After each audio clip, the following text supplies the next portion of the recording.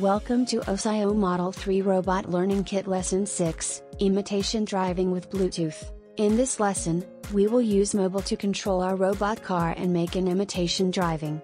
Since is a mock driving, we will use a virtual steering wheel and gear in our app to imitate their counterparts in real car. Step 1, Hardware Installation. Install the Smart Car Basic Framework as per Lesson 1 Firstly, insert Bluetooth module into Sensor Shield V5.0 Bluetooth slot. Step 2, Software Installation. Open your browser and download Lesson 6 sample code from OSOYOO. Unzip the download zip file lesson6.zip, you will see a folder called Lesson 6.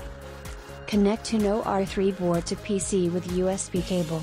Open Arduino IDE, then click File, then click Open, then choose Code Lesson 6.ino in Lesson 6 folder to load the code into Arduino IDE.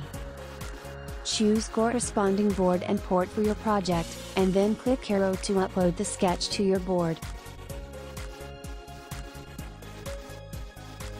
Step 3 Final Testing go to Google Play or Apple App Store and search OSOYOO Imitation Driving, and download and install the app OSOYOO Imitation Driving Robot. Turn on the car, then turn on Bluetooth switch of your phone. Enter into app, click BT search button, you will see a Bluetooth device list which has been paired with your app. Select HC-02 device to connect the car. Once HC-02 is connected, Bluetooth status will change from disconnected to connected. When you rotate your mobile phone angle, the steering wheel will change angle as per your mobile phone rotation angle.